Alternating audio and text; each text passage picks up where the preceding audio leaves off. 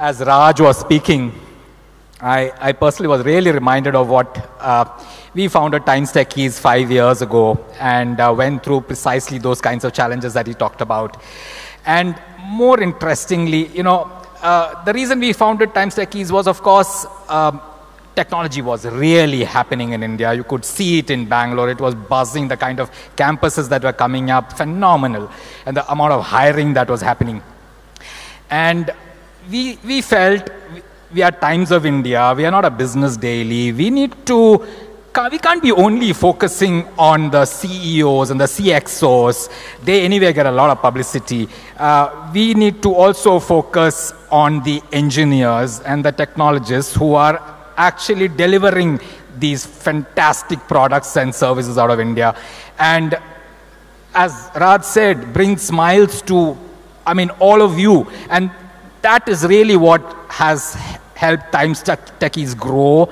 We started with just a single page in the Times of India on a Wednesday and only in Bangalore and Hyderabad.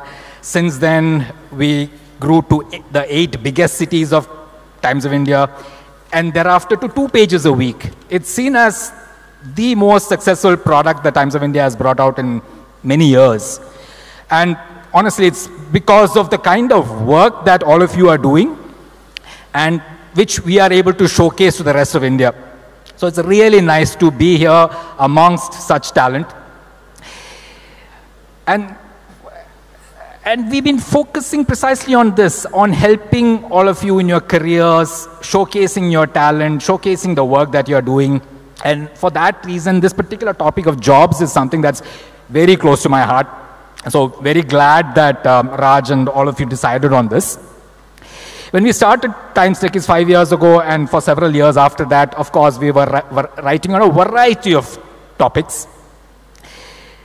What I find very interesting is that, uh, of course, cloud kind of dominated a bit of those conversations. But in the last one year, literally, almost literally, I mean, the only thing that we seem to be writing on is AI. Uh, if you look at a Times Techies page, most stories tend to be on AI today.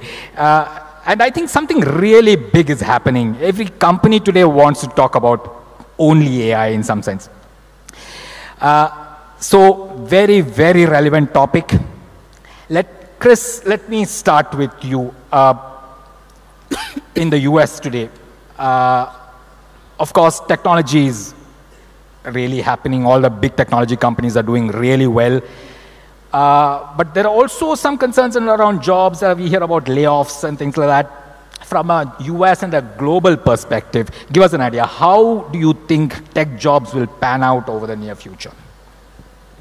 So, uh, from my perspective, I do think the current demand and actually the, the increasing demand for not only digital transformation, but what I'm calling sort of intelligence transformation jobs will continue.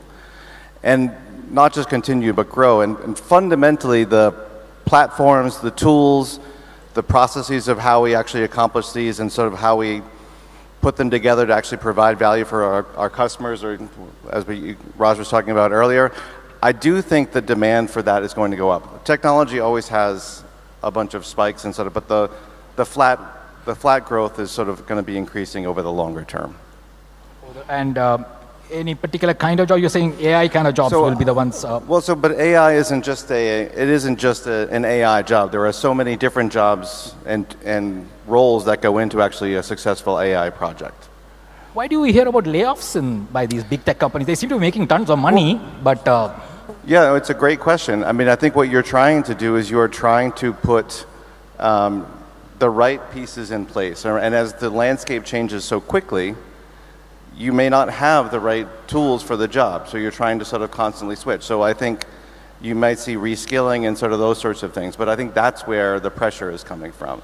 Like, you know, you, if you made a cake in the 60s and you made a cake today, your oven's a lot better, your mixer's a lot better, how you're reading the instructions is probably on a phone or a tablet. So it's very, very different. Okay but you think tech jobs are still going to grow? I overall? still think tech job. I mean, I still think tech jobs are going to be growing in demand. Okay. Yes. Sangeeta, similar question. I mean, India, of course, for the last many years, Indian IT, Indian technology has been one of the biggest stories for India. It's grown humongously. It's a reason for Times Techies' success. Uh, you know, I suspect it's a very significant part of GDP today. Our exports, I keep hearing that it is services which is driving our exports and our economy in general. And my guess is, a very, very major part of services is IT and tech.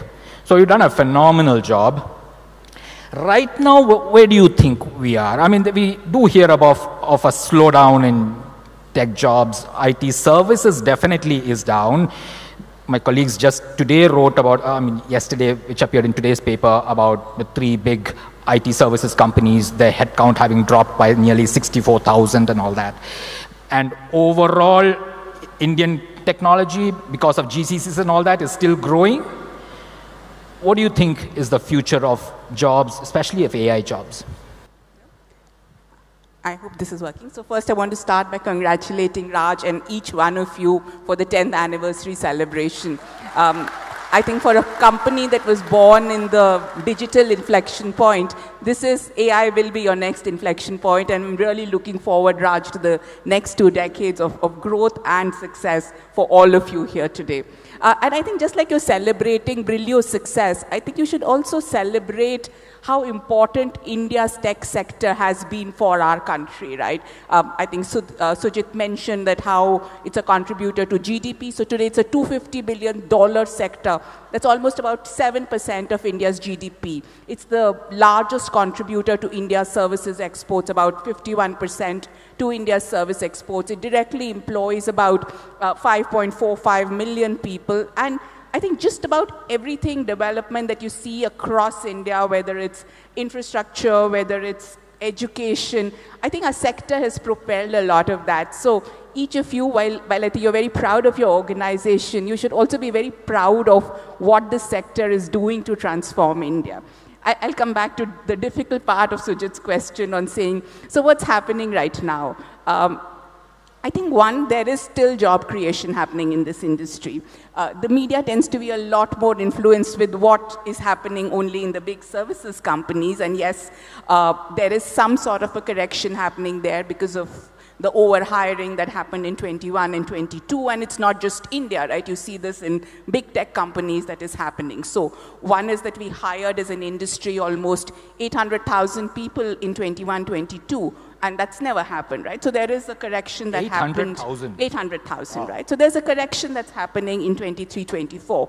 But even the data that Nasscom published as of uh, March 24, we are saying the industry created almost 60, 70,000 net new jobs. So despite some companies degrowing, there is lots of opportunity out there.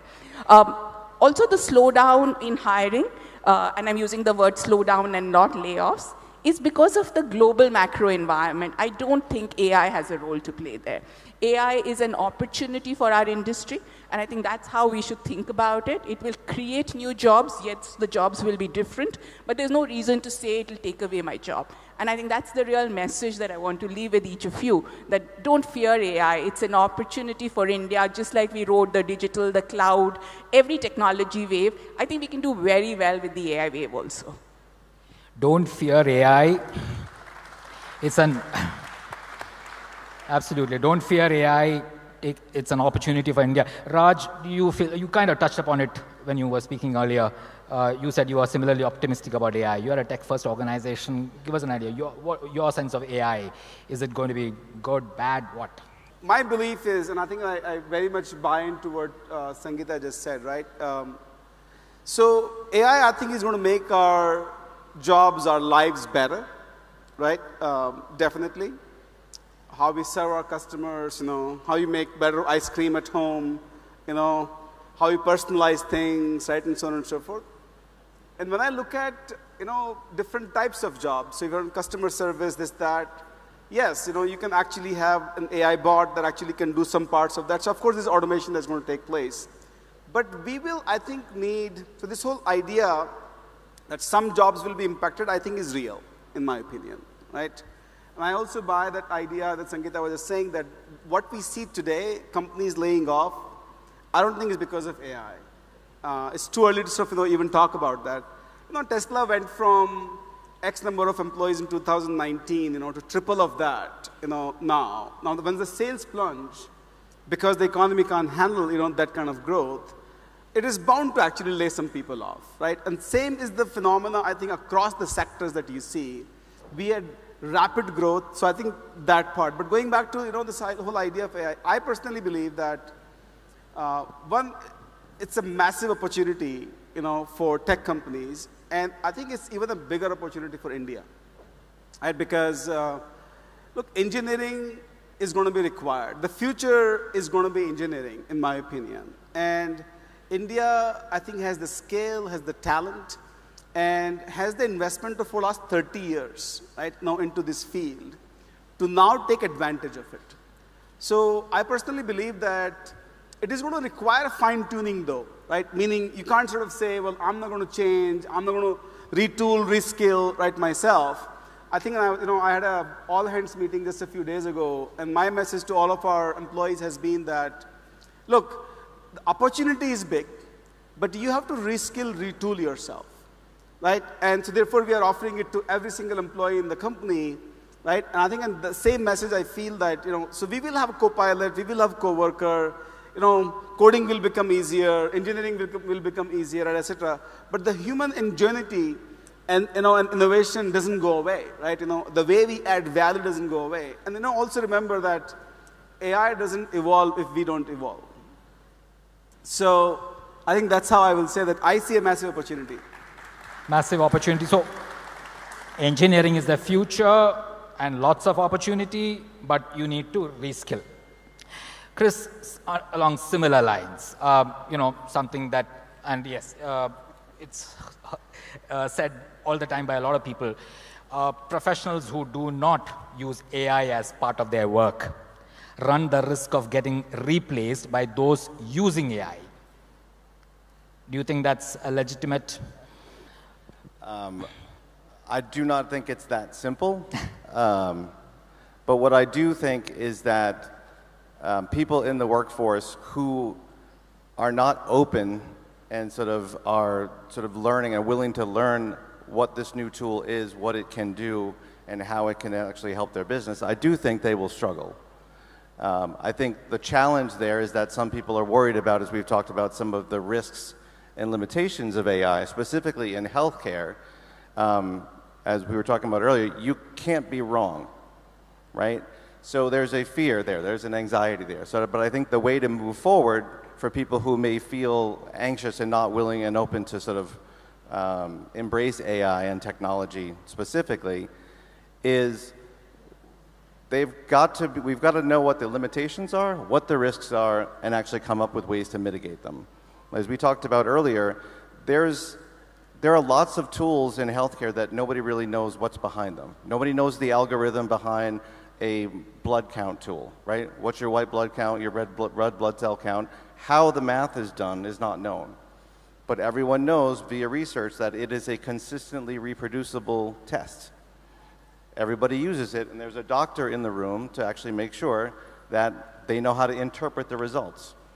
I do see the same sort of paradigm playing out with artificial intelligence. Sangeeta, I wanted to ask you, I mean, as Chris and Rajan all said, I mean, you have to be agile, you have to change, you have to reskill. What is your sense of Indian tech talent?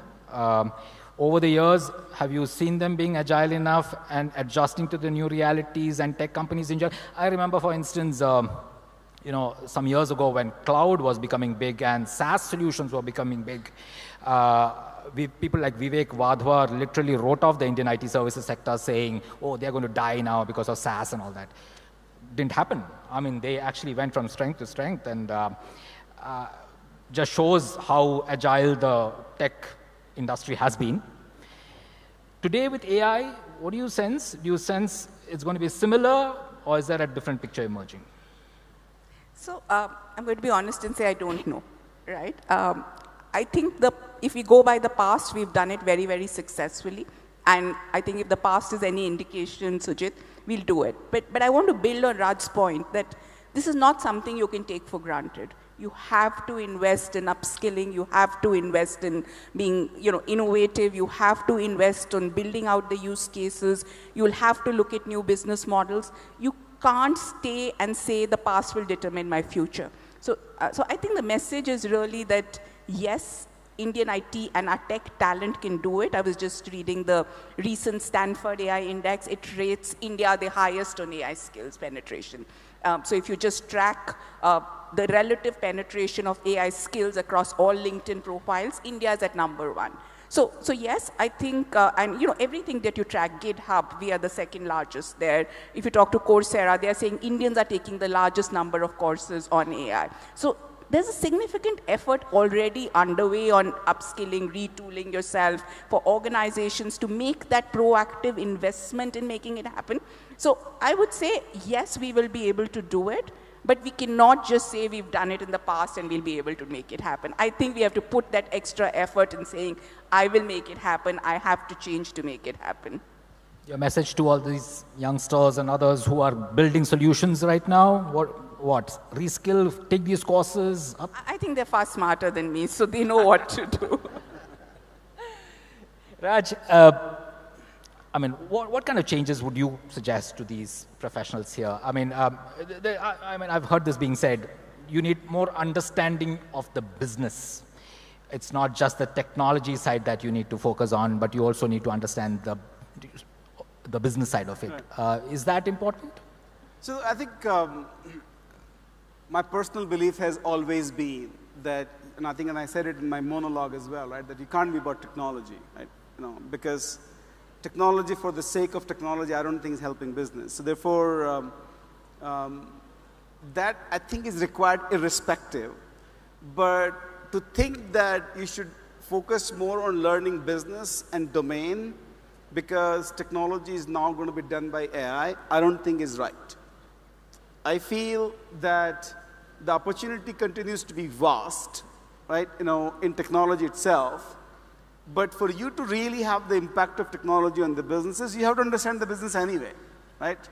So companies, individuals, you know, people who are not going to be able to transcend that, that, that gap the technology has with the business, I think we'll have a difficulty. I just returned from, and I'll take brief moment, I just returned from uh, Google's conference in Vegas, and um, it was quite uh, interesting that uh, the Google leadership was saying, well, the product guys actually have built the AI technology, but the sales team doesn't know how to sell that to our customers, right?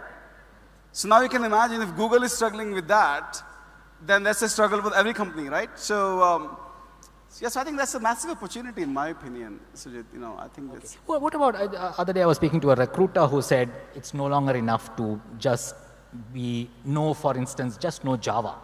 Now, you also need to know other skills which can help you do kind of an end-to-end -end process. Do you have a take so on that? Think, look, I, I, mean, I don't know what is end-to-end -end process, but it's like if I'm a Java programmer today, right, and um, if I want to do better tomorrow, then the first of, you know, at least I would recommend that if my job can be done 40% by AI or by any other coworker, co-pilot tool, I should adopt that, right? Don't fight it, adopt it, right? And see, with the help of AI, how can I do my job better? That's the first ask I would say. So now, if my productivity is X today, it can you know, be 2X tomorrow. It's not like we are not hiring. It's not like the tech world actually just is dried of jobs and stuff like that. The second part, I think, is that you know, can you really combine now your skills, you know, and, you know, and, you know, to your point about end-to-end, I think the AI has the power to simplify some of the complexity that exists in the, you know, in the IT systems today, right? I think we all can start looking at how to leverage that to simplify a few things, right? That's how I would say it. Um, I personally don't think that, uh, you know, the, the jobs are going away or, you know, or I should just focus on something else, right? I think it's, uh, it's the time. I think I personally feel it's the time, and the time is now for everyone to actually jump on this and, and get ready for this. Okay. Chris, uh, just the last few weeks we had the GE healthcare CTO, Taha Kass-Hout, I don't know if you know him. Uh, the Siemens Healthineers CTO, both of them in town and talking about uh, the phenomenal changes that AI could potentially bring in healthcare. What is your sense? Uh, is AI likely to bring some really transformative changes in healthcare? And in terms of AI jobs, what would that mean for jobs in healthcare? I seem to be getting all the hard questions, but what I would say is um, I would agree. I do think the opportunity for um, transformation in healthcare and cancer care specifically is massive. And I think the only sort of piece I would add is that the, the, the solutions need to be well, like well guarded. We have to be specific about what we're doing. We can't be sort of all over the place. That's sort of the, they have to be, they have to really sort of be focused on what our endpoint is and make sure that it's not sort of all over the place. Um, that's sort of the, the basics for me. I don't, I, I see the massive opportunity there. I mean, there's just, we, I mean, it's, it's really, I think we were um, moved to earlier, we're like, we, if we've been talking about it for eight years here or seven years here, it has been out there with radiology and everything. We are doing a lot of stuff with it in the healthcare space already. So it's just taking it to the next level. Exactly. So, I mean, Taha of GE and uh, Peter Schardt of Siemens said uh, radiology, for instance, much clearer images can AI is able to do. On top of that, they can find things which even a doctor might miss. Uh, they can tell the doctor and and therapist precisely where in an organ you need to target and leave out healthy tissues. They're all areas which uh, they felt AI is already beginning to kind of help. I would agree. So in radiology specifically, what, what, it, what it has the ability to do with a, a very high percentage of success, like in the 98 to 99%, is eliminate those cases that are not bad and they can say there's nothing sorry to worry about in this particular scan or this image. What it then eliminates for the, for the doctor or the clinician is don't focus on that massive number of images, just focus on these 10. And to your point, only focus in these particular areas. Or, I don't have enough information, can you go in and get another scan of that so that I can see the specific area? So, yes, I would agree. And those are only going to get better. Okay. Sangeeta, in India, I mean, industries uh, which, where, where, do you think, which industries, which segments do you think AI hiring is going to become big, important? I think it will impact all sectors, but, but I think all the research that is currently out there points to four key sectors. One is obviously banking and financial services and what can happen with AI implementation, which is already happening in, in many ways. Uh, the second is really, really the retail and CPG sector because there's just so much customer centricity that AI can provide there. Um, I think if you think about healthcare, again, uh, Christopher already talked about that. But, but, you're seeing very innovative examples, whether it's drug discovery or diagnostic. I think there's a lot of very interesting things happening. And I think the last is really manufacturing, right, that, uh, that can really transform itself with use of AI. So those are the four sectors where the most change is likely, where you're seeing early adoption of use cases, particularly from a Gen AI perspective. AI has been around for a much, much longer time, but you're really seeing even in Gen AI that's happening. And from a business function, it's really customer service, sales and marketing, uh, product research and design, and software coding. Any particular example you think which kind of amazed you? Anything yet? Um, I, I, think there are lots of examples, but, but clearly I think if you read about uh, how L'Oreal, which is a beauty fashion company, right, and you would say, why do they need to invest in AI? But they are making a significant investment in AI. They have a center in India also. They're working with a number of partners. But they're really saying, how do I leverage AI to track and listen to all the product customers are looking for, and then embed those features into the products that L'Oreal will, raise, uh, will build out.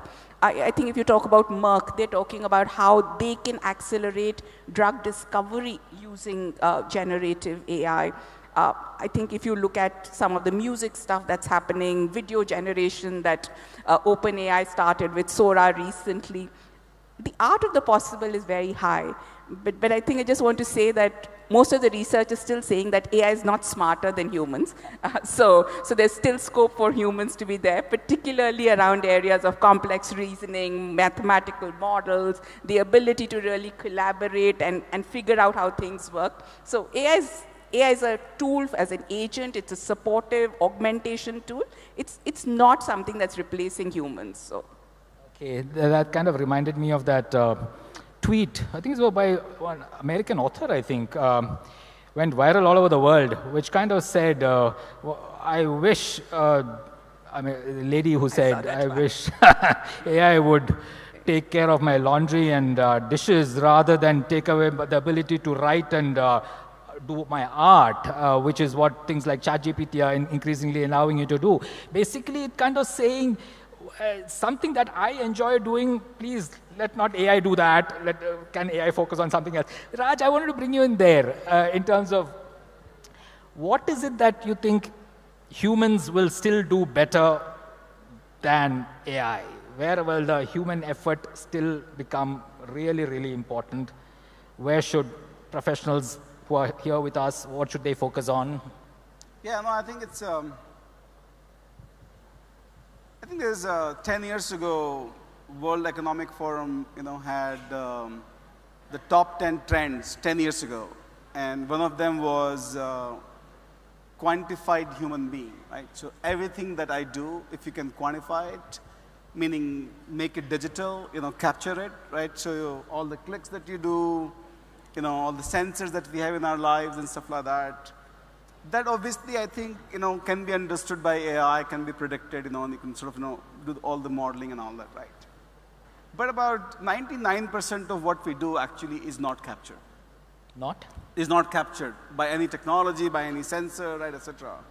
So the human emotion, ingenuity, I think, practical in everything that you could, maybe, you may be flipping a burger, but, you know, that burger, how it actually needs to be at what temperature, you know, that day, um, you know, and you know, how do you sort of you know, serve that particular customer, I think actually can mean a lot, you know, in my opinion, right? You know, uh, and so therefore, I think to to sort of say that the, the, robotics and the AI actually takes everything away, I don't think so. However, the predictable, whatever you know, you can actually sort of mathematically and all that. I think, of course, you know, you know, we can do all of that, right? But I believe that. Um, many, actually practically in Brillio, for example, every single job that we have, right, um, I think requires for us to have that customer emotion, requires for us to understand their business. And I don't think that actually can be done by AI at all. It's just not possible, right? You know, like 10 different ways of collaboration and driving, it's not going to happen. So I don't see, so I would say that, you know, our, our folks actually have to learn to use the AI tools but then really get world class, you know, in serving our customers, understanding them, and impacting them. So softer skills, how do you infuse in the your profession? Yes, yeah, so I think we have a, you know, we, we have a, a, very defined program, different tracks. So, you know, inside the company, uh, for every level, for every job, I think we actually have defined software and, you know, on the core functional skills. So, and that training is available to our worldwide employees, you know, uh, and, you know, at their disposal uh, real time. So that's how we're sort of doing. And, you know, we are also making it up to them to sort of you know, learn instead of you know, top-down stuff, right? So I think it sort of you know, has yielded better output for us. Okay, softer skills, important. Uh, Chris, uh, how will the role of a CTO or a CDO now change in the times of AI in terms of planning, staffing, and handling issues? What are you doing in 2024 that you were not doing 10 years ago? That's a three-part question. So I would say our, our roles as a CTO or a CDO has already changed. If you just think back, let's say five years ago, my job fundamentally would be to put a three to five year strategic plan together. Here's my roadmap. Here are all the sort of tools and things I need to actually accomplish that. If I did that today, it's basically invalid in 12 months, right? So I can't really do that anymore. So how do we solve the problem? I think as we talked a little bit about earlier, the types of people that I would need to actually do that is our technologists who understand the business, who have a tremendous set of functional skills, and who are very data driven, right? And if you can piece all that together with people who understand the business, you can put groups together to understand the business goals in a much deeper level than we do today, right? I think we all today cursory understand how the business operates. I think we do have to understand that at a deeper level so that when we get into solutioning and we get into sort of adding value, we can do it much more, much more precisely and much more quickly than we do today. How that relates to staffing is, uh, I think the term is, is known, which is you're looking for more purple unicorns. Like everybody wants a purple unicorn. And if you are a purple unicorn, if you want to be a purple unicorn, those are sort of the base skills that I think you need. And the more of those there are, the more, that's what I'm going to be looking for from a staffing and hiring perspective. Um, and then what am I doing today uh, differently than I was doing a few years ago? You know, Raj sort of stole the, the thunder, but it really, as his role as the CEO, he cares about culture, right? He needs an entire company to move in one direction, to think as one and act as one. As a chief digital officer, that was never sort of my job. I didn't need to create sort of a subculture or a way that I needed a team to behave and, and act. I do today, right? I care about communication. I care about culture. I care about how we put these people and teams together to be as effective as possible. And that's not something I worried about five years ago. Okay. Things are moving much faster. Yeah. Sangeeta, uh, at the policy making level, is India really trying to understand what all this means and um, taking decisions accordingly? Plus, I also wanted you uh, for skilling, everybody talks skilling. What exactly is India? I know you have your Future Skills program um, and you have an excellent platform where you offer a lot of courses and all that. But generally speaking, what kind of skilling initiatives and is that moving fast enough? So I think the, the first thing is the government, many of you may have read in the media, has announced a national AI mission. So I think for the first time from a technology perspective, you're seeing all levels of the government very committed to say, how do you make AI more real for India? And of course, their vision is that AI should be able to reach the last mile in India. So AI in India is not just for uh, people who can afford to pay for it, but AI in India is for everybody, uh, every Indian, uh, as they'd like to think about it. And they've built out a very interesting framework on how they will do it, everything from access to compute, because to build out AI models, you will need subsidized compute because compute is the most expensive thing on earth right now. I think Sam Altman said it's the new electricity. So, so I think clearly compute is a big cost and the government is providing for that. They're investing in building out foundational models because a lot of the AI models that exist do not have the Indian context to it they do they are not multilingual to understand Indian culture, Indian diversity. So there is investment in Indian models that's going to happen. I think a few projects are already underway with IIT and others, and I think we will see more rollout there happening. Skilling is a big focus, so they already had a number of skilling initiatives. You talked about the Future Skills Prime initiative, but clearly everybody understands that India's biggest, biggest strength is its talent base, right? And our demographics is what uh, is really going to take us forward to our vision of becoming a developed nation. And hence, AI is not just for being the AI engineer. AI is today a tool for augmenting every white collar job, right? I can be working in this hotel as a receptionist, but how will AI help me serve my customer better? How, just like we drove digital literacy, how will we drive AI literacy in this country? So, so there's a significant focus, and I think you must be tracking it. How many AI courses in institutions across India that have come up. I think every university has started an AI course to the extent I was in a meeting with the government and they were like, nobody's going into core engineering disciplines. We need more people to do mechanical, civil engineers. We don't want just IT, computer, and AI engineers for India. But that's on the side note. So there is significant investment in AI skilling that's happening. And then there's, of course, focus on building out a startup ecosystem. How do you build out whatever you do in a responsible and safe manner? Because AI is a great tool, but it also has a lot of concerns and risks around it. So a lot of focus on when you will build AI in India, you will do it with trust, you will do it responsibly, and have the right regulatory framework to support that. A lot of investment happening. Great to hear that. Uh, and as Sangeeta said, I mean, talent is really India's strength. And um, wh while we have that really large numbers of talent, and you know, as part of my job, I meet a lot of people like Raj and uh, Chris who keep visiting India. And invariably, they have such wonderful words to talk about India's talent. Uh, I mean, quality-wise, of course, we are right, really up there. But I mean, more than that, they just, they're just fascinated by the sheer enthusiasm, the energy, and the attitude that India's uh, I mean, I think it's because partly because we are much younger. Uh, not me. I mean, uh, many of you. I guess the average age is uh, in the 20s or early 30s. I guess it's still average age is still in the late 20s, right? Uh, I think that brings a lot of energy and enthusiasm, which they don't see in most other countries. And uh, I, I, love hearing when they, uh, that when they say that. Raj, final question to you, Brillio. Uh, I have some audience questions, but before that one, uh, Brillio specifically, what does AI mean for Brillio? What, what kind of disruptions do you anticipate? Is AI bringing more work to you? Are there challenges? Tons of work. you should buy Brillio's stock. um, but, uh, but no, I think um, our view on AI is enterprise-wide.